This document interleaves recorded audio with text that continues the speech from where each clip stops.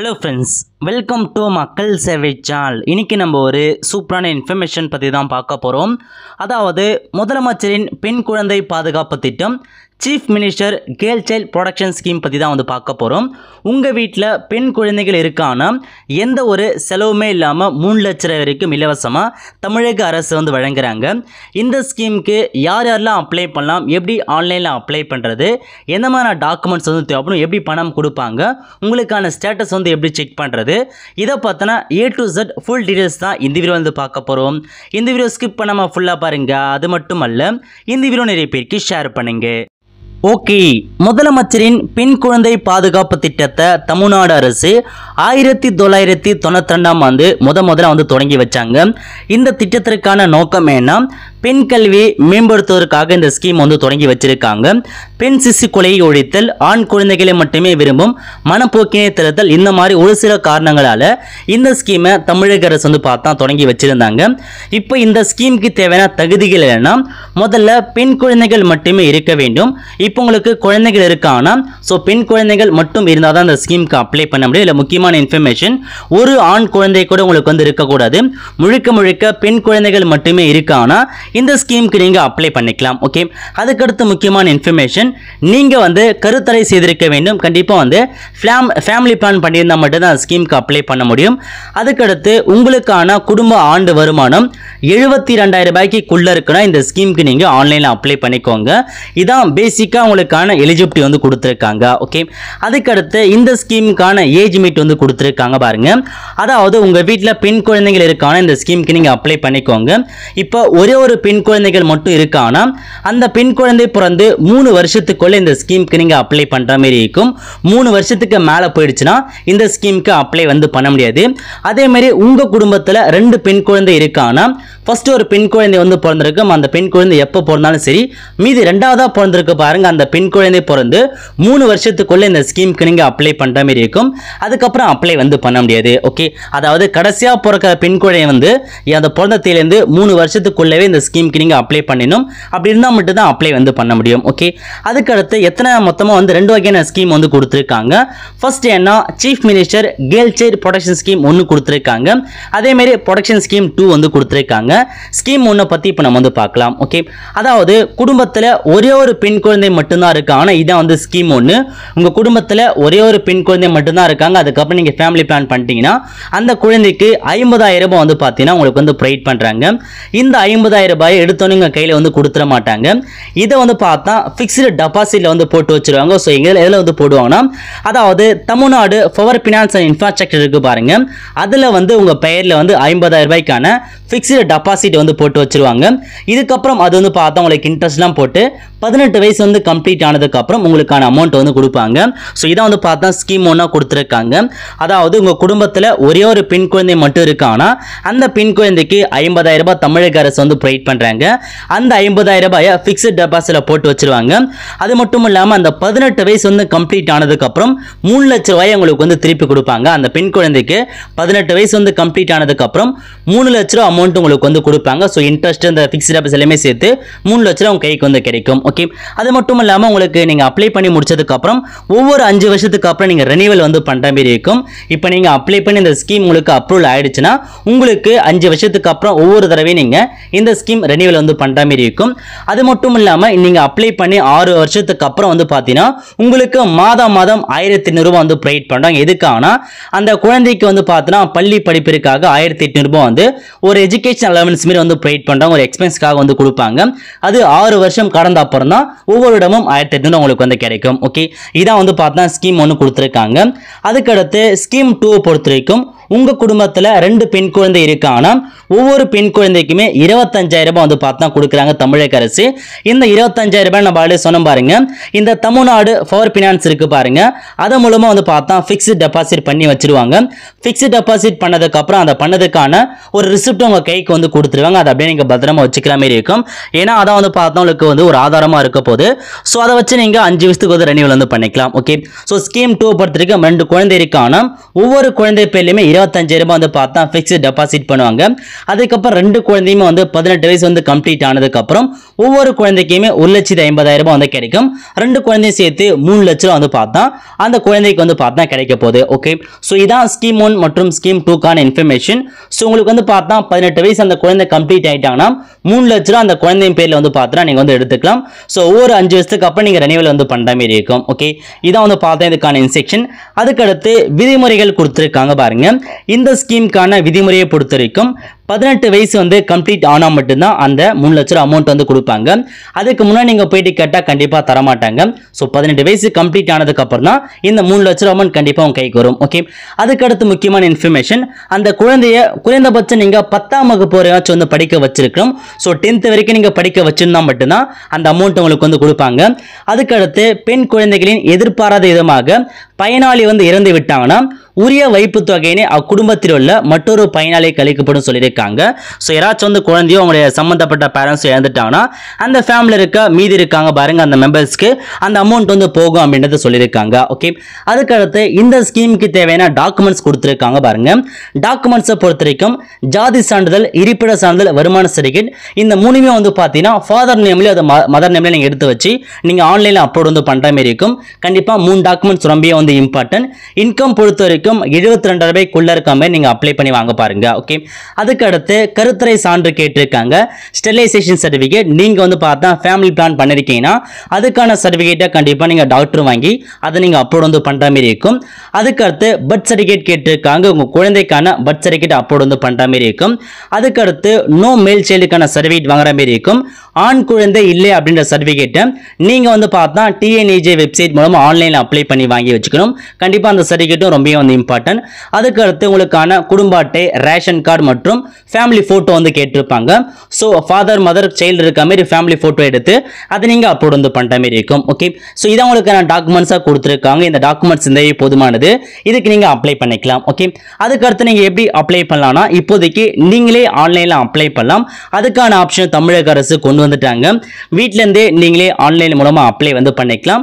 So நீங்கள் ஆன்லைனில் apply பண்ணி முடிச்சதுக்கு அப்புறம் நீங்கள் ஆன்லைனில் என்னென்ன டாக்குமெண்ட்ஸ்லாம் அப்லோட் பண்ணி அந்த எல்லா டாக்குமெண்ட்ஸுமே ஒரு ஜெராக்ஸ் எடுத்து செல்ஃப் அட்டஸ்ட் வாங்கி சம்மந்தப்பட்ட ஆஃபீஸர் டிஎஸ்டபிள்யூ ஆஃபீஸ் இருக்குது பாருங்க. அந்த ஆஃபீஸர் எடுத்துகிட்டு போய் நீங்கள் வந்து கொடுக்குற மாதிரி இருக்கும். ஸோ ஆன்லைனில் அப்ளை பண்ணதுக்கப்புறம் டாக்குமெண்ட்ஸ் எடுத்துகிட்டு போயிட்டு சம்பந்தப்பட்ட ஆஃபீஸ் வந்து சப்மிட் பண்ணுங்க. ஓகே இப்போ நீங்கள் ஒன்ஸ் ஆன்லைனில் அப்ளை பண்ணி முடிச்சதுக்கப்புறம் உங்களுக்கான அப்ளிகேஷன் எங்கெங்கே வந்து போகும்னா ஃபஸ்ட்டு ஃபீல்ட் வெரிஃபிகேஷன் ஆஃபீஸர் வீட்டுக்கே வந்து நீங்கள் கொடுத்த இன்ஃபர்மேஷன் கரெக்டாக டாக்குமெண்ட்ஸ் தான் கரெக்டானு ஃபீல்ட் வெரிஃபிகேஷன் வந்து பண்ணுவாங்க. அதுக்கப்புறம் பிடி பிடிஓ பிளாக் டெவலப்மெண்ட் ஆஃபீஸர் அவங்க கிட்ட வந்து போகும்.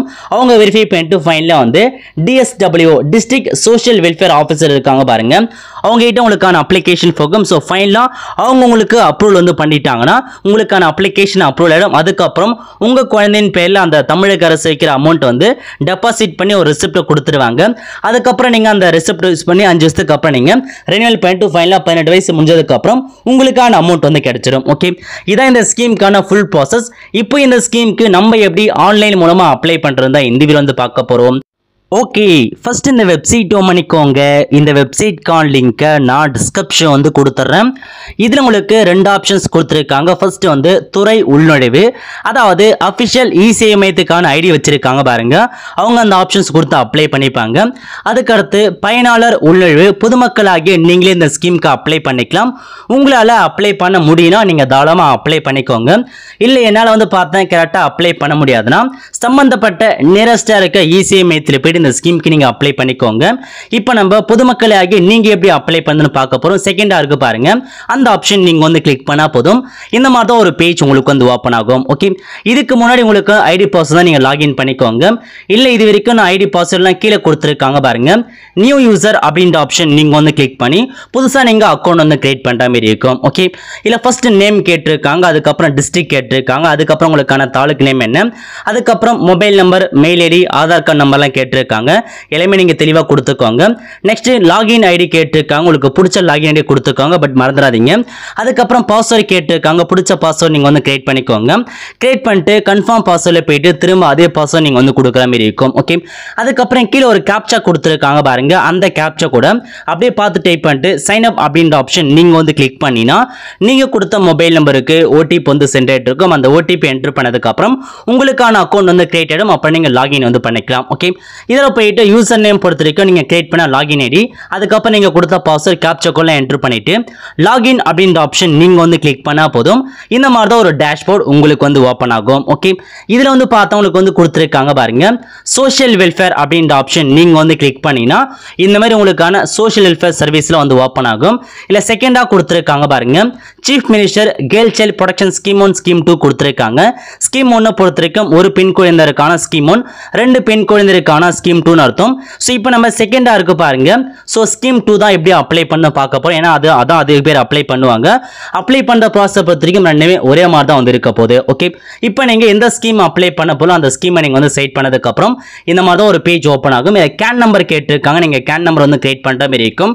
கேன் நம்பரை பொறுத்த வரைக்கும் ஃபாதர் அல்லது மதர் ரெண்டு பேர்த்தில் யாராச்சும் ஒருத்தரோட கேன் நம்பர் நீங்கள் வந்து கொடுத்தா போதுமானது. முடிஞ்ச அளவுக்கு மதர் நேமில் நீங்கள் வந்து கிரியேட் பண்ண பாருங்க. ஃபாதர் மற்றும் மதர் யாராச்சும் ஒருத்தர் நீங்கள் கொடுத்தா போதுமானது. போகுது இருந்தாலும் மதர் நேம்லேயே வந்து நீங்கள் கிரியேட் பண்ணி அப்ளை பண்ண பாருங்க. ஓகே இப்போ உங்களுக்கான கேன் நம்பர் நம்ம எப்படி வந்து கிரியேட் பண்ணலாம்னா அகைன் நீங்கள் ஹோம் பேஜ் வந்து போயிடுங்க. ஸோ இதில் போயிட்டு வந்து பார்த்தா டிபார்ட்மெண்ட் வைஸ் அப்படின்ற ஆப்ஷன் நீங்கள் வந்து செட் பண்ணிட்டு ஸோ இதில் வந்து பார்த்தா கொடுத்துருக்காங்க பாருங்க ரெவன்யூ டிபார்ட்மெண்ட் அந்த ஆப்ஷன் நீங்கள் வந்து செட் பண்ணிட்டு ஏதாச்சும் ஒரு சர்வேட் ஆப்ஷன் நீங்கள் வந்து கிளிக் பண்ணிக்கோங்க. ஃபார் எக்ஸாம்பிளுக்கு கம்யூனிட்டி சர்வேட் அப்படின்ற ஆப்ஷன் நீங்கள் வந்து கிளிக் பண்ணால் போதும். டேரெக்டாக இந்த மாதிரி தான் ஒரு பேஜ் ஓப்பன் ஆகும். ஓகே இதில் போயிட்டு ப்ரொசீட் அப்படின்ற ஆப்ஷன் நீங்கள் வந்து கிளிக் பண்ணதுக்கப்புறம் உங்களுக்கு ஆல்ரெடி கேன் நம்பர் இருக்கான்னு நம்ம எப்படி தெரிஞ்சுக்கலாம்னா இதில் போயிட்டு name father name mobile number கொடுத்து நீங்கள் வந்து சர்ச் பண்ணி பார்த்துக்கலாம். இல்லை எதுவுமே தேவை சிம்பிளாக உங்களுக்கான ஆதார் நம்பர் இருக்கு பாருங்க. இதில் போயிட்டு ஜஸ்ட் உங்களுடைய ஆதார் நம்பரை மட்டும் நீங்கள் வந்து டைப் பண்ணி சர்ச் அப்படின்ற ஆப்ஷன் நீங்கள் வந்து கிளிக் பண்ணால் போதுமானது. உங்களுக்கான கேன் நம்பர் இருந்தால் கேன் நம்பர் வந்து ஷோ ஆயிடும். ஒருவேளை இல்லை நீங்கள் புதுசாக தான் அப்ளை பண்ணுற மாதிரி இருக்கும். ஓகே இப்போ நீங்கள் ஆதார் நம்பரை கொடுத்து சர்ச் அப்படின்ற ஆப்ஷன் நீங்கள் வந்து கிளிக் பண்ணினா இந்த மாதிரி கேன் நம்பர் வந்து அந்த கேன் நம்பர் நீங்கள் வந்து காப்பி பண்ணி டேரெக்டாக நீங்கள் அப்ளை வந்து பண்ணிக்கலாம். ஒருவேளை உங்களுக்கான கேன் நம்பர் இல்லாதவங்க நீங்கள் புதுசாக தான் கேன் நம்பர் வந்து கிரியேட் பண்ணுற மாதிரி இருக்கும். ஸோ மேலே கொடுத்துருக்காங்க பாருங்க. ரெஜிஸ்டர் கேன் அப்படின்ற ஆப்ஷன் நீங்கள் வந்து கிளிக் பண்ணால் போதும். இதில் கேட்டிருக்க ஜென்ரல் இன்ஃபர்மேஷன் நீங்கள் வந்து ஃபில் பண்ணதுக்கப்புறம் உங்களுக்கான கேன் நம்பர் வந்து அந்த கேன் நம்பர் வச்சு நீங்கள் வந்து யூஸ் பண்ணிக்கலாம். ஸோ கேன் நம்பர் எப்படி கிரியேட் பண்ணி நம்ம சேனலில் வீடியோ வந்து போட்டிருக்கோம் அதுக்கான லிங்க்கை நான் டிஸ்கிரிப்ஷன் வந்து கொடுத்துட்றேன். அந்த வீடியோ பார்த்து உங்களுக்கான கேன் நம்பர் நீங்கள் கிரியேட் பண்ணிக்கோங்க ஓகே இப்போ நம்ம அகைன் அந்த ஸ்கீமை நம்ம வந்து செட் பண்ணிக்கலாம். ஸோ செட் பண்ணி முடிச்சதுக்கப்புறம் இதில் போயிட்டு நீங்கள் கிரியேட் பண்ண கேன் நம்பர் வந்து பார்த்து தான் கொடுத்துக்கோங்க ஓகே கேன் நம்பர் என்ட்ரு பண்ணிட்டு கெட் டீட்டெயில்ஸ் அப்படின்ற ஆப்ஷன் நீங்கள் வந்து கிளிக் பண்ணால் போதும். டேரெக்டாக நீங்கள் அப்ளை பண்ணுற பேஜுக்குள்ள வந்துடுவீங்க ஓகே அட்ரஸ் எல்லாமே ஆட்டோமேட்டிக்காக கேன்லேருந்து எடுத்துச்சு. இதில் ஃபர்ஸ்ட் என்ன கேட்டிருக்காங்கன்னா Aadhaar number of applicant so அப்ளிகேனுடைய Aadhaar number கேட்டிருக்காங்க. அதாவது பக்கத்தில் அப்ளிகேன் நேம் கொடுத்துருக்காங்க பாருங்கள் இவங்களோட ஆதார் நம்பரை நீங்கள் வந்து கொடுக்குற மாதிரிக்கு நீங்கள் கேன் நம்பர் யார்த கொடுத்தீங்களோ அவங்களுடைய ஆதார் நம்பர் வந்து பார்த்தா நீங்கள் வந்து கொடுத்துக்கோங்க. கண்டிப்பாக நீங்கள் டுவெல் டிஜிட் ஆதார் நம்பரை கண்டிப்பாக வந்து கொடுத்துதான் ஆகணும் ஓகே அதுக்கப்புறம் அப்ளிகேன் ரிலேஷன் வந்து கேட்டிருக்காங்க பாருங்க. ஸோ இந்த அப்ளிகேன் வந்து அந்த- குழந்தைகளுக்கு எந்த ரிலேஷன் கேட்டிருக்காங்க. ஸோ ஃபாதர்னா ஃபாதர் கொடுங்க மதர்னா மதர் அப்படின்ற ஆப்ஷன் நீங்கள் வந்து செட் பண்ணிக்கோங்க. கேன் நம்பர் யாரோடதோ ஃபாதர் தான் மதர்ன்றதை நீங்கள் வந்து செட் பண்ணுற மாதிரி இருக்கும். ஓகே ஸோ செட் பண்ணி முடிச்சதுக்கப்புறம் அப்படியே கீழே வந்தீங்கன்னா உங்களுக்கான அட்மினிஸ்ட்ரேட்டிவ் டைப் வந்து கேட்டிருக்காங்க பாருங்க. நீங்கள் இருக்கும் மேடம் வந்து பார்த்தீங்கன்னா பிளாக்லையா முனிசிபாலிட்டியில் இல்லையா டவுன் பஞ்சாயத்தான்னு கேட்டிருக்காங்க. ஸோ உங்களுக்கான அட்மினிஸ்ட்ரேட்டிவ் டைப் ஏதோ அதை நீங்கள் வந்து செட் பண்ணிக்கோங்க. பிளாக்னா நீங்கள் எந்த பிளாக்ல இருக்கீங்க எந்த வட்டத்தில் இருக்கீங்க நீங்கள் வந்து செட் பண்ணுற மாதிரி இருக்கும். முனிசிபாலிட்டினா எந்த முனிசிபாலிட்டி டவுன் பஞ்சாயத்துனா எந்த டவுன் பஞ்சாயத்தை நீங்கள் கரெக்டாக வந்து கொடுத்துக்கோங்க ஓகே அதுக்கப்புறம் மொபைல் நம்பர் கேட்டிருக்காங்க பாருங்க இதில் போயிட்டு உங்கள் மொபைல் நம்பரை நீங்கள் கரெக்டாக வந்து கொடுத்துக்கோங்க. ஸோ மொபைல் நம்பர் என்ட்ரு பண்ணி முடிச்சதுக்கப்புறம் ஸ்மார்ட் கார்டு நம்பர் கேட்டிருக்காங்க. இதில் போயிட்டு பிஹெச்எச் என்பி அந்த மாதிரி உங்களுக்கான ஸ்டார்டிங் இருக்கு பாரெல்லாம் கொடுத்துட்டு so so full smart card நம்பரை தெளிவாக நீங்கள் பார்த்து கரெக்டாக கொடுத்துக்கோங்க.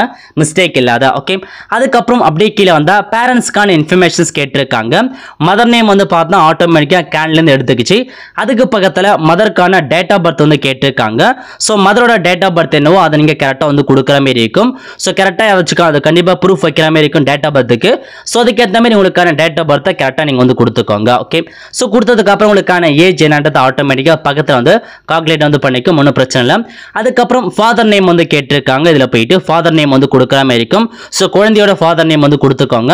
கொடுத்ததுக்கப்புறம் ஃபாதருடைய டேட் ஆஃப் பர்த் கேட்டிருக்காங்க. இதில் போயிட்டு ஃபாதரோட டேட் ஆஃப் பர்த் என்ன அப்படின்றத நீங்கள் கொடுக்குற மாதிரி இருக்கும். ஸோ ஃபாதருக்கும் டிசி ஏதாச்சும் நீங்கள் கண்டிப்பாக ஏஜ் ப்ரூஃப்க்கு டாக்குமெண்ட் சப்போர்ட் வந்து பண்ணுற மாதிரி இருக்கும். ஓகே ஸோ நெக்ஸ்ட் வந்து பார்த்தா டேட் ஆஃப் மேரேஜ் கேட்டிருக்காங்க.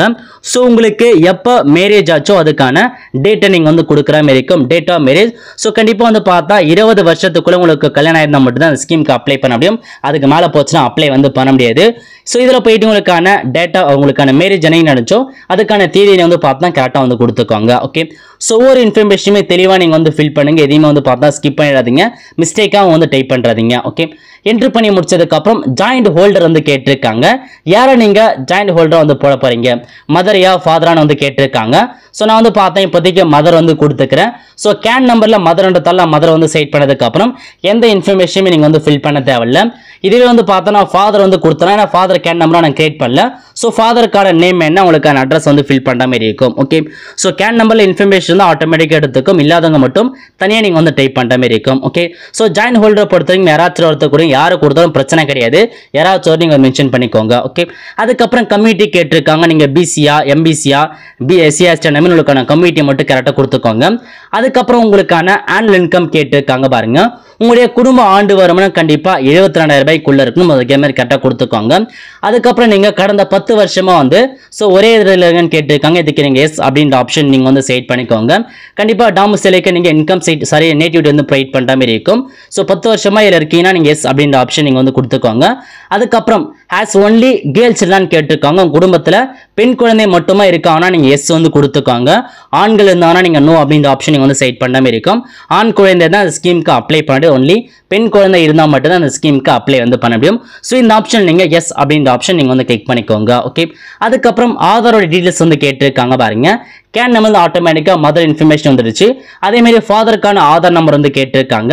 இதில் போயிட்டு எஸ் அப்படின்ற ஆப்ஷன் நீங்கள் வந்து கிளிக் பண்ணி ஃபாதர் மற்றும் மதருக்கான ஆதார் நம்பரை மட்டும் நீங்கள் கொடுத்தா போதுமானது. ஓகே அதுக்கப்புறம் சைல்டுக்கான டீட்டெயில் கேட்டிருக்காங்க பாருங்கள் ஃபஸ்ட்டு பெண் குழந்தையோட நேம் கேட்டிருக்காங்க. ஸோ ஃபஸ்ட்டு பெண் குழந்தையோட நேமை நீங்கள் கரெக்டாக வந்து கொடுக்குற மாதிரி இருக்கும். ஸோ ஃபஸ்ட்டு பெண் குழந்தை நேமை கொடுத்துட்டு அவங்களுக்கான டேட் ஆஃப் பர்த் வந்து கேட்டிருக்காங்க. பர்த் சர்டிஃபிகேட் இருக்க மாரி அவங்களுக்கான டேட் ஆஃப் பர்த் நீங்கள் கரெக்டாக கொடுத்துக்கோங்க. டேட் ஆஃப் பர்த்தை கண்டிப்பாக மாற்றி கொடுக்காதீங்க. டேட் ஆஃப் பர்த் ரொம்ப வந்து இம்பார்ட்டன்ட் ஸோ ஃபஸ்ட்டு குழந்தை இன்ஃபர்மேஷனை ஃபில் பண்ணிட்டு அதுக்கப்புறம் செகண்ட் குழந்தைய பற்றி கேட்டிருக்காங்க. செகண்ட் குழந்தையோட நேமை நீங்கள் வந்து கொடுத்துக்கோங்க. அதுக்கப்புறம் அவங்களுக்கான டேட் ஆஃப் பர்த் வந்து கேட்டிருக்காங்க. அதையும் நீங்கள் வந்து ஃபில் பண்ணுற மாதிரி இருக்கும். ஓகே இதில் முக்கியமான இன்ஃபர்மேஷன் என்ன ஃபர்ஸ்ட் குழந்தைக்கான டேட் ஆஃப் பர்த் எதுவாக இருந்தாலும் பிரச்சனை கிடையாது. ஆனால் ரெண்டாவது குழந்தை பிறந்து மூணு வருஷத்துக்குள்ளே இந்த ஸ்கீமுக்கு நீங்கள் அப்ளை வந்து பண்ணுற மாதிரி இருக்கும். ஸோ ரெண்டாவது குழந்தை வந்து எப்போ பிறகுனாலும் அந்த தேதியிலேருந்து மூணு வருஷத்துக்குள்ளே இந்த ஸ்கீமுக்கு நீங்கள் அப்ளை பண்ணதான் அப்ளை வந்து பண்ணியும் அதுக்கான ஆப்ஷன்ஸையும் உங்களுக்கு வந்து ஆன்லைனில் காமிக்கும். மூணு வருஷம் மேலே போனால் ஆன்லைன்லேயே அந்த ஆப்ஷன்ஸ் காமிக்காது நீங்கள் அப்ளையும் வந்து பண்ண முடியாது. ஓகே ரொம்ப கேர்ஃபுல்லாக வந்து பார்த்து இருந்து நீங்கள் முன்னாடியே அப்ளை பண்ண பாருங்கள் ஏன்னா நிறைய பேர் வந்து பார்த்தா டைம் இருக்கேன் மாதிரி அப்படியே விட்டுருவீங்க. ஸோ நீங்கள் ரெண்டாவது குழந்தை சைல்டு பிறந்து அதை நீங்கள் ஃபேமிலி பிளான் பண்ணிட்டாவே உடனே இந்த ஸ்கீமுக்கு நீங்கள் அப்ளை பண்ணுறது கண்டிப்பாக ஒரு நல்லது. ஸோ அந்த ரெண்டாவது குழந்தை பிறந்து அதுலேருந்து மூணு வருஷத்துக்குள்ள இந்த ஸ்கீமுக்கு நீங்கள் அப்ளை பண்ணுங்க. அதுக்கு மேலே போனால் அப்ளை வந்து பண்ண முடியாது. ஓகே ஸோ மொத்தம் ரெண்டு குழந்தைக்கான பேர் என்ன? அதுக்கான டேட் ஆஃப் பர்த்ன்றதை தெளிவாக நீங்கள் வந்து ஃபில் பண்ணதுக்கப்புறம் ஃபேமிலி பிளானிங்கான டீட்டெயில்ஸ் வந்து கேட்டிருக்காங்க. அதையும் நம்ம வந்து பார்த்தா ஃபில் பண்ணுற மாதிரி இருக்கும். ஓகே இல்லை ஃபர்ஸ்ட் என்ன கேட்டிருக்காங்கன்னா whether done or not on கேட்டிருக்காங்க. அதாவது ஃபேமிலி பிளான் வந்து பார்த்தா முடிஞ்சிச்சா இல்லையான்னு கேட்டிருக்காங்க. கண்டிப்பாக இதுக்கு நீங்கள் எஸ் அப்படின்ற ஆப்ஷன் தான் நீங்கள் வந்து கிளிக் பண்ணணும் நோ கொடுத்தா இந்த ஸ்கீமுக்கு அப்ளை வந்து பண்ண முடியாது. ஓகே இப்போ நீங்கள் எஸ் அப்படின்ற ஆப்ஷன் நீங்கள் வந்து கிளிக் பண்ணிக்கோங்க. கிளிக் பண்ணதுக்கப்புறம் name of location where operation was done அதாவது எந்த லொகேஷன் உங்களுக்கான ஆப்ரேஷன் நடந்துச்சோ அதுக்கான லொகேஷன் நேம் கொடுத்துக்கோங்க அல்லது ஹாஸ்பிட்டல் நேமை மென்ஷன் பண்ணிட்டு அந்த ஹாஸ்பிட்டல் எந்த லொகேஷனில் இருக்குது அப்படின்றத நீங்கள் காமா போட்டு நீங்கள் அந்த டைப் எல்லாம் ஒன்றும் பிரச்சனை இல்லை. லொகேஷன் தான் கேட்டிருக்காங்க. லொகேஷன் கொடுத்துக்கோங்க. அதுக்கு அடுத்து ஆப்ரேஷன் யார் வந்து பண்ணாங்க? ஃபாதர் பண்ணியிருக்காங்களா? மதர் பண்ணிருக்காங்களா நீங்கள் வந்து ஃபில் பண்ண மாதிரி இருக்கும். ஸோ யார் பண்ணாங்க அப்படின்றதுக்கான ஆப்ஷன்ஸ் வந்து கிளிக் பண்ணிட்டு date of operation so family plan வந்து என்னைக்கு நடந்துச்சோ அதுக்கான தேதி நீங்கள் வந்து கொடுக்குற மாதிரி இருக்கும். கண்டிப்பாக வந்து அந்த டாக்டர் கொடுத்த சர்டிஃபிகேட்லேயே அதுக்கான தேதியை மென்ஷன் பண்ணியிருப்பாங்க. அந்த தேதியை கொடுத்துக்கோங்க. இன்னொரு இன்ஃபர்மேஷனாக நீங்கள் ஃபேமிலி பிளான் பண்ணுற தேதியை பொறுத்த வரைக்கும் அந்த தேதி நாற்பது வயசுக்கு மேலே இருந்தால் அப்ளை பண்ணுறது அப்ளிகேனோட ஏஜ் வந்து நாற்பது வயசுக்குள்ளே இருந்தால் மட்டும்தான் அப்ளை வந்து பண்ண முடியும். ஓகே ஸோ இதான் உங்களுக்கான இன்ஸ்ட்ரக்ஷன் ஸோ தெளிவாக நீங்கள் வந்து ஃபில் பண்ணிக்கோங்க. ஸோ மொத்தமாக எல்லாத்தையுமே அப்ளை டீட்டெயில்ஸ் எல்லாமே முடிஞ்சது. அதுக்கப்புறம் நீங்கள் டாக்குமெண்ட்ஸ் வந்து அப்லோட் வந்து பண்ண போகிறீங்க ஓகே ஸோ டாக்குமெண்ட்ஸை பொறுத்த வரைக்கும் ஃபஸ்ட்டு மேலே கொடுத்துருக்காங்க. ஐடி ப்ரூஃபில் போயிட்டு ஆட் அட்டாச்மெண்ட் அப்படின்ற ஆப்ஷன் நீங்கள் வந்து கிளிக் பண்ணதுக்கப்புறம் இல்லை நிறைய ப்ரூஃப்லாம் கொடுத்துருக்காங்க பாருங்க. So PAN card driving licence voter எக்கச்சக்கமான டாக்குமெண்ட்ஸ் கொடுத்துருக்காங்க. இதில் போய் நீங்கள் ஸ்மார்ட் கார்டு அப்படின்ற ஆப்ஷன் நீங்கள் வந்து கிளிக் பண்ணி உங்கள் குடும்பத்துக்கான ஸ்மார்ட் கார்டு இருக்கும். அதை மட்டும் நீங்கள் அப்லோட் பண்ணால் போதுமானது. சூஸ் ஃபைல் அப்படின்ற ஆப்ஷன் நீங்கள் வந்து கிளிக் பண்ணி ஸ்மார்ட் கார்டை நீங்கள் அப்லோட் வந்து பண்ணிக்கோங்க. ஓகே இன்னும் நீங்கள் டாக்குமெண்ட்ஸ் அப்லோட் பண்ணுறதா ஆட் அட்டாச்மெண்ட் கொடுத்து உங்களுக்கான எக்ஸ்ட்ரா டாக்குமெண்ட்ஸ் நீங்கள் அட்டாச் பண்ணிக்கலாம். ஜஸ்ட் அந்த ஐடி ப்ரூஃப் பொறுத்த வரைக்கும் நீங்கள் ஸ்மார்ட் கார்டு மட்டுமே அட்டாச் பண்ணால் போதுமானது. ஓகே அதுக்கப்புறம் ஜாதி சர்டிஃபிகேட் வந்து கேட்டிருக்காங்க. அதுக்கப்புறம் இன்கம் சைட் கேட்டிருக்காங்க. அதுக்கப்புறம் நேட்டிவ் சைட் கேட்டிருக்காங்க. இந்த மூணு டாக்குமெண்ட்ஸுமே நீங்கள் கண்டிப்பாக அட்டாச் வந்து பண்ணுற மாதிரி இருக்கும். யார் பேரில் நீங்கள் வந்து வாங்கலாம்னா ஸோ கேண்டிடேட் கேன் நம்பர் யார் பேரில் இருக்கோ அவங்க நேமில் முடிஞ்ச அளவுக்கு நீங்கள் அப்லோட் பண்ண பாருங்க. இல்லை ஃபாதர் மற்றும் மதர் ரெண்டு பேர்லையுமே நீங்கள் உங்களுக்கான ஜாப் சரி நேடிட்லாம் வாங்கி ஒரே பிடிஎஃபாக கன்வெர்ட் பண்ணி நீங்கள் அப்லோட் வந்து பண்ண பாருங்க. ஸோ ஏதாச்சும் ஒருத்தர் கொடுத்தா போதுமானது. கம்யூனிட்டி இன்கம் நேட்டிவ் மூணுமே ரொம்பவே வந்து இம்பார்ட்டன்ட் கண்டிப்பாக முன்னாடி நீங்கள் ஆன்லைனில் அப்ளை பண்ணி வச்சு வாங்கிட்டு அதுக்கப்புறம் நீங்கள் ஆன்லைனில் அப்லோட் வந்து பண்ணிக்கோங்க. ஓகே ஸோ இதான் மூணு டாக்குமெண்ட்ஸும் ரொம்ப இம்பார்ட்டன் தான் கொடுத்துருக்காங்க. யாராச்சும் ஃபாதர் அல்லது மதர் ஏதாச்சும் ஒருத்தர் நேமே நீங்கள் வாங்கி அதை நீங்கள் அப்லோட் பண்ணால் வந்து போதுமானது. இன்கம் பொறுத்த வரைக்கும் எழுபத்தி ரெண்டு ரூபாய்க்குள்ளே இருக்காமல் நீங்கள் வாங்க பாருங்கள் இது வரைக்கும் அஃபிஷியல் வெப்சைட்டில் ஆனுவல் இன்கம் எழுபத்தி ரெண்டு ரூபாய்க்குள்ளே தான் கொடுத்துருக்காங்க. அதுக்கப்புறம் சேஞ்ச் பண்ணாமல் இருக்காங்க. ஸோ அதுக்கேற்ற மாதிரி நீங்கள் வாங்கிக்கோங்க ஓகே அதுக்கப்புறம் வந்து பார்த்தா ஏஜ் ப்ரூஃப் வந்து கேட்டிருக்காங்க. பேரண்ட்ஸ்க்கான ஏஜ் ப்ரூஃபுக்கு நீங்கள் டாக்குமெண்ட்ஸ் வந்து சப்மிட் பண்ணுற மாதிரி இருக்கும். டிசிஓ மார்க் ஷீட்டு பர்த் சர்டிஃபிகேட்டோ இருந்தால் அப்லோட் பண்ணுங்க. எதுவுமே இல்லாத பட்சத்தில் ஆதார் கார்டு நீங்கள் அப்லோட் பண்ணால் போதுமானது. ஸோ மதர் மற்றும் ஃபாதருக்கான ஏஜ் ப்ரூஃபை கண்டிப்பாக நீங்கள் அப்லோட் வந்து பண்ணி தான் ஆகணும். ரெண்டு பேர்த்தையுமே நீங்கள் அப்லோட் வந்து பண்ணிக்கோங்க. ஓகே அதுக்கப்புறம் உங்கள் சைல்டுக்கான ஏஜ் ப்ரூஃபை நீங்கள் வந்து கொடுத்தாரும். ஆட் அட்டாச்மெண்ட் அப்படின்ற ஆப்ஷன் நீங்கள் வந்து கிளிக் பண்ணி ஃபஸ்ட்டு சைல்டுக்கான பர்த் சர்டிஃபிகேட்டை நீங்கள் அப்லோட் வந்து பண்ணிக்கோங்க. அதுக்கடுத்து செகண்டாக வந்து பார்த்தா செகண்ட் சைல்டுக்கான பர்த் சர்டிஃபிகேட் கேட்டிருக்காங்க. ஸோ ஆட் அட்டாச்மெண்ட் அப்படின்ற ஆப்ஷன் நீங்கள் வந்து கிளிக் பண்ணி செகண்ட் சைல்டுக்கான பர்த் சர்டிஃபிகேட்டை அட்டாச் வந்து பண்ணிக்கோங்க ஓகே ரெண்டு செயலிக்கான பர்த் சர்டிஃபிகேட் கண்டிப்பாக ரொம்ப இம்பார்ட்டன் அட்டாச் பண்ணிக்கோங்க. அதுக்கடுத்து ஸ்டெரிலைசேஷன் சர்டிஃபிகேட் வந்து கேட்டிருக்காங்க. கருத்தரை பண்ணதுக்கான டாக்டர் சர்டிஃபிகேட் வாங்கியிருப்பீங்க. அந்த சர்டிஃபிகேட்டை நீங்கள் அப்லோட் பண்ணிக்கோங்க பிடிஎஃப் ஃபார்மேட்டில் அதுக்கப்புறம் proof of no male child அதாவது ஆண் குழந்தை இல்லை அப்படின்ற சர்டிஃபிகேட் வந்து பார்த்தா நீங்கள் முன்னாடியே ஆன்லைனில் அப்ளை பண்ணி வாங்குற மாதிரி இருக்கும். ஸோ சேம் இதே வெப்சைட்டில் டிஎன்இஜே வெப்சைட்லேயே உங்களுக்கு ஆண் குழந்தை இல்லை அப்படின்ற சர்டிஃபிகேட்டுக்கான ஆப்ஷன்ஸ் கொடுத்துருக்காங்க. அதில் போயிட்டு நீங்களே ஆன்லைன் மூலமாக அப்ளை பண்ணி அந்த சர்டிஃபிகேட் ஃபஸ்ட்டு வாங்கிக்கோங்க. அது எப்படி ஆன்லைனில் அப்ளை பண்ணி நம்ம சேனலில் வீடியோ போட்டிருக்கோம் அதுக்கான லிங்கே நான் டிஸ்கிரிப்ஷன் வந்து கொடுத்துறேன். அந்த வீடியோ பார்த்து அந்த சரிகிட்ட வாங்கி அதை நீங்கள் அப்லோட் வந்து பண்ணிக்கோங்க ஓகே அதுக்கப்புறம் ஃபைனலாக உங்களுக்கான ஃபேமிலி ஃபோட்டோ கேட்டிருக்காங்க. ஃபோட்டோ பொறுத்த வரைக்கும் ஃபாதர் மதர் உங்களுக்கான சைல்டு எல்லாருமே இருக்க மாதிரி ஒரு ஒரு ஃபேமிலி ஃபோட்டோவை நீங்கள் எடுத்து அதை நீங்கள் அப்லோட் வந்து பண்ணுற மாதிரி இருக்கும் ஓகே ஸோ இதான் உங்களுக்கான டாக்குமெண்ட்ஸாக வந்து கொடுத்துருக்காங்க. எல்லா டாக்குமெண்ட்ஸுமே கரெக்டாக வந்து பார்த்தீங்கன்னா நல்ல குவாலிட்டி இருக்காமல் நீங்கள் ரீசைஸ் பண்ணி அப்லோட் வந்து பண்ணுற மாதிரி இருக்கும். கண்டிப்பாக டாக்குமெண்ட்ஸ் ரொம்ப வந்து இம்பார்ட்டன்ட் எல்லா டாக்குமெண்ட்ஸுமே எதுவும் வந்து மிஸ் பண்ணிடாதீங்க. எல்லா டாக்குமெண்ட்ஸுமே நீங்கள் தெளிவாக அப்லோட் பண்ணிட்டு கரெக்டாக செக் பண்ணி பார்த்துட்டு கீழே இருக்கு பாருங்க சப்மிட் அப்படின்ற ஆப்ஷன் நீங்கள் வந்து கிளிக் பண்ணால் போதுமானது. இந்த மாதிரி தான் உங்களுக்கான அப்ளிகேஷன் வந்து பார்த்தா சப்மிட் ஆயிடுச்சு. ஸோ அப்ளிகேஷன் நம்பர் கொடுத்துருங்க. அப்ளிகேஷன் இதான் உங்களுக்கு வந்து ட்ராக்கிங் ஐடி இந்த ஐடி நீங்கள் வந்து பார்த்தா நோட் பண்ணி வச்சுக்கோங்க. ஓகே இதுக்கப்புறம் நீங்கள் மேக் பேமெண்ட் அப்படின்ற ஆப்ஷன்ஸ் கீழே கொடுத்துருக்காங்க பாருங்க. அந்த ஆப்ஷன் நீங்கள் வந்து கிளிக் பண்ணதுக்கப்புறம் உங்களுக்கு பேமெண்ட் பண்ணுற பேஜுகள் வந்து போகும். ஓப்பன் போர்ட்டில் பொறுத்துட்டு நீங்கள் பேமெண்ட் பண்ண வேண்டிய அவசியம் வந்து கிடையாது. ஸோ இதுமாதிரி டேரெக்டாக இந்த மாதிரி பேமெண்ட் வந்து சக்ஸஸ் ஆகிடும் நீங்கள் பேமெண்ட் வந்து பண்ண தேவையில்ல. ஓகே ஓகே ஒன்ஸ் நீங்கள் பேமெண்ட் பண்ணி முடிச்சதுக்கப்புறம் இந்த மாதிரி தான் வந்து பார்த்தோம் ரிசிப்ட் வந்து ஓப்பன் ஆகும். இந்த ரிசிப்ட் கண்டிப்பாக வந்து பார்த்தா நீங்கள் போய் சப்மிட் பண்ணுற மாதிரி இருக்கும். ஓகே ஒன்ஸ் அப்ளிகேஷன் வந்துட்டு போதுமான இந்த ஸ்கீம் நீங்கள் அப்ளை பண்ணுறது அர்த்தம். ஸோ ஒருவேளை உங்களுக்கு வந்து பார்த்தா ஓப்பன் போர்டில் கண்டிப்பாக எரர் வந்து ஷோ ஆகும். இந்த மாதிரி எரர் வந்துச்சுன்னா நீங்கள் அகைன் லாகின் பேஜுக்கு போயிட்டு உங்களுக்கு பெண்டிங் டிரான்சாக்ஷன் அப்படின்ற ஆப்ஷன்ஸ் கொடுத்துருப்பாங்க. இதில் போனவே நீங்கள் வந்து பார்த்தா செலக்ட் கொடுத்து அப்ளிகேஷன் ஃபார்ம் எடுத்துக்கலாம். இந்த மாதிரி எரர் இருந்துச்சுன்னா நீங்கள் டிஎன்இஜே கான்டாக்ட் பண்ணவே அவங்க கிளியர் பண்ணி கொடுத்துருவாங்க ஓகே ஸோ இது வந்து பார்த்தா உங்களுக்கான அப்ளிகேஷன் ரெஃபரன்ஸ் நம்பர் கொடுத்துருக்காங்க பாருங்க. இந்த ரெஃபரன்ஸ் நம்பரை நீங்கள் வந்து காப்பி பண்ணி வச்சுக்கோங்க. இந்த நம்பர் ரொம்பவே வந்து இம்பார்ட்டன்ட் ஏன்னா இதுக்கு வந்து பார்த்தீங்கன்னா எங்களுக்கான ஸ்டேட்டஸ் செக் பண்ணுறதுக்கு இந்த ரெஃபரன்ஸ் நம்பர் வச்சு நீங்கள் ஸ்டேட்டஸ் வந்து செக் பண்ண முடியும். எரர் வந்ததுக்கப்புறம் கண்டிப்பாக இந்த பேஜை நீங்கள் சேவ் பண்ணி வச்சுக்கோங்க. உங்களுக்கு வந்து யூஸ்ஃபுல்லாக இருக்கும் ஓகே ஒன்ஸ் இந்த மாதிரி நீங்கள் அப்ளை பண்ணி முடிச்சதுக்கப்புறம் நீங்கள் ஸ்டேட்டஸ் வந்து செக் பண்ணுற மாதிரி இருக்கும். ஸோ உங்களுக்கான ஸ்டேட்டஸ் நீங்கள் எப்படி செக் பண்ணலாம் ஸ்டேட்டஸ் செக் பண்ணுறதுக்கான அஃபிஷியல் வெப்சைட் லிங்க் தான் இதுக்கான லிங்க் நான் டிஸ்கிரிப்ஷன் வந்து கொடுத்துட்றேன் ஓகே இதில் போயிட்டு உங்களுக்கு வந்திருக்க அப்ளிகேஷன் நீங்கள் வந்து காப்பி பண்ணிக்கோங்க. அதுக்கப்புறம் அப்ளிகேட் நேம் யார் பேரில் அப்ளை பண்ணல உங்கள் நேமை நீங்கள் வந்து கொடுக்குற மாதிரி இருக்கும். கேண்டிடேட் நேம் கொடுத்துட்டு கீழே ஒரு கேப்சா கொடுத்துருக்காங்க பாருங்க. அந்த கேப்சா கூட அப்படியே பார்த்து டைப் பண்ணிக்கோங்க. டைப் பண்ணிட்டு கெட் ஸ்டேட்டஸ் அப்படின்ற ஆப்ஷன் நீங்கள் வந்து கிளிக் பண்ணால் போதுமானது. உங்களுக்கான ஸ்டேட்டஸ் வந்து பார்த்தா இந்த மாதிரி தான் வந்து ஷோ ஆகும் ஓகே நான் ஓப்பன் போல் தான் அப்ளை பண்ண கிட்டத்தட்ட பன்னிரெண்டு பத்து ரெண்டாயிரத்தி இருபத்தி மூணு அன்றைக்கி தான் அப்ளை பண்ணியிருக்கேன். அப்ளிகேஷன் ஸ்டேட்டஸை பொறுத்த வரைக்கும் ரிசீவ்னு வந்து கொடுத்துருக்காங்க. இதில் நீங்கள் அப்ளை பண்ணதுக்கான எல்லா இன்ஃபர்மேஷனுமே தெளிவாக வந்து கொடுத்துருக்காங்க. இப்போதைக்கு அப்ளிகேஷன் ரிசீவ் வந்து பண்ணியிருக்காங்க ஓகே நான் இன்னொரு ஸ்டேட்டஸ் உங்களுக்கு வந்து காமிக்கிறேன். ஏன்னா இன்னைக்கு தான் அப்ளை பண்ண அப்ளிகேஷன் ரிசீவ்னு வந்திருக்கு. ஸோ இதுக்கப்புறம் ஃபீல்ட் வெரிஃபிகேஷன் பண்ணிட்டு அதுக்கப்புறம் உங்களுக்கான அப்ளிகேஷனை ஃபார்வர்ட் பண்ணுவாங்க. ஓகே ஸோ இன்னொரு அப்ளிகேஷனுக்கான ஸ்டேட்டஸ் தான் ஃபார்வர்ட் டு டிஎஸ்டபிள்யூ அதாவது டிஎஸ்டபிள்யூ ஆஃபீஸ் வந்து பார்த்தேன் இப்போதைக்கு இந்த அப்ளிகேஷன்ஸ் இருக்குது அவங்க செக் பண்ணி பார்த்து அப்ரூவல் வந்து கொடுக்கணும். அப்ரூவல் கொடுத்தானா அவங்களுக்கான அப்ளிகேஷன் அப்ரூவல் வந்து ஆயிடும். ஓகே இதான் இன்னொரு ஸ்டேட்டஸ் இப்போ நம்ம வேற ஒரு ஸ்டேட்டஸ் பற்றி பார்க்கலாம். ஸோ இந்த ஸ்டேட்டஸ் வந்து பார்த்தீங்கன்னா அப்ளிகேஷன் வந்து பார்த்தா அப்ரூவ் பண்ணியிருக்காங்க. அப்ரூவ்டு பை டிஎஸ்டபிள்யூ ஸோ அந்த டிஸ்ட்ரிக்ட் சோஷியல் வெல்ஃபேர் ஆஃபீஸர் அவங்க இந்த அப்ளிகேஷனை அப்ரூவ் பண்ணியிருக்காங்க இது என்னைக்கு அப்ளை பண்ணியிருக்காங்க ரெண்டாயிரத்தி பதினேழு அப்ளை பண்ணி அப்ரூவ் பண்ணியிருக்காங்க இதில் கீழே கொடுத்துருக்காங்க பாருங்க சைல்டு இன்ஃபர்மேஷனில் எலிஜிபிள் டேட் ஆஃப் ஃபைனல் மெச்சூரிட்டின்னு கொடுத்துருக்காங்க. இந்த ரெண்டாயிரத்தி முப்பதில் இந்த குழந்தைக்கு வந்து பார்த்தா ரெண்டு லட்சம் ஒன்றரை லட்ச ரூபா வந்து கிடைக்கும். அதேமாதிரி செகண்ட் சைல்டுக்கு வந்து பார்த்தா ரெண்டாயிரத்தி முப்பத்தி மூணு இயரில் வந்து இவங்களுக்கு வந்து பார்த்தா ஒன்றரை லட்ச ரூபா அமௌண்ட் வந்து கிடைக்க போகுது. ஓகே ஸ்டேட்டஸ்லேயே உங்களுக்கு எப்போ அதுக்கான அமௌண்ட் வந்து கிடைக்குன்றத அதிலே மென்ஷன் பண்ணி கொடுத்துருப்பாங்க. நீங்கள் வந்து செக் பண்ணி பார்த்துக்கலாம். இவங்களுக்கு வந்து பார்த்தா அப்ரூவல் கொடுத்துட்டாங்க. இவங்களுக்கு வந்து ஃபிக்ஸ்டு டெபாசிட்டில் போயிட்டு அவங்களுக்கு வந்து கொடுத்துட்டாங்க. ஸோ ஒன்ஸ் உங்களுக்கான ஃபிக்ஸ்டு டெபாசிட் பண்ணி அதை ரிசிப்ட் கையில் கொடுத்துட்டாவே ஒரு அஞ்சு வருஷத்துக்கு அப்புறம் நீங்கள் ரெனிவல் வந்து பண்ணுற மாதிரி இருக்கும். ஓகே ஸோ இந்த மாதிரி தான் இந்த ஸ்கீமுக்கு நீங்கள் ஆன்லைன் மூலமாக அப்ளை வந்து பண்ணிக்கோங்க. ஆன்லைனில் அப்ளை பண்ணதுக்கப்புறம் ஸ்டேட்டஸ் செக் பண்ணி பார்த்துக்கோங்க. முக்கியமான இன்ஃபர்மேஷன் ஒன்ஸ் நீங்கள் ஆன்லைனில் அப்ளை பண்ணி முடிச்சதுக்கப்புறம் சம்மந்தப்பட்ட டிஸ்ட்ரிக்ட் சோஷியல் வெல்ஃபேர் ஆஃபீஸில் போயிட்டு உங்களுக்கான அந்த அப்ளை பண்ணதுக்கான ரிசிப்ட் அதேமாரி நீங்கள் ஆன்லைனில் அப்ளை பண்ண சொல்ல கொடுத்த எல்லா டாக்குமெண்ட்ஸுமே ஒரு ஜெராக்ஸ் எடுத்து செல்ஃப் அட்டஸ்ட் வாங்கி நீங்கள் டேரக்டாக போயிட்டு வந்து சப்மிட் பண்ணுற மாதிரி இருக்கும் ஓகே ஸோ இதான் உங்களுக்கான ஃபுல் இன்ஃபர்மேஷன் உங்களால் ஓப்பன் போர்ட்டில் பண்ண முடியலனா நியரஸ்ட்டாக இருக்க இசிஐ மையத்தில் போயிட்டு வந்து அப்ளை பண்ண பாருங்கள் ஏன்னா அவங்க வந்து பார்த்தா கொஞ்சம் எக்ஸ்பீரியன்ஸாக இருப்பாங்க ஈஸியாக பண்ணி கொடுத்துருவாங்க. உங்களால் பண்ண முடியும் கரெக்டாக பர்ஃபெக்டாக பண்ண முடியும் நீங்களே வீட்டிலேருந்தே பண்ணிக்கோங்க. பண்ண முடியாதவங்க மட்டும் நியரஸ்ட்டாக இருக்க ஈஸியாக மையம் போய்த்து நீங்கள் அப்ளை பண்ணிக்கோ அவங்களே அப்ளை பண்ணி கொடுத்துருவாங்க. அவ்வளோ ஃப்ரெண்ட்ஸ் கண்டிப்பாக இந்த வீடியோ பிடிச்சி லைக் பண்ணுங்கள் அது மட்டும் அல்ல இந்த வீடியோ நிறைய பேருக்கு ஷேர் பண்ணுங்கள் அடுத்து ஒரு நல்ல சந்திப்போம். நன்றி வணக்கம்.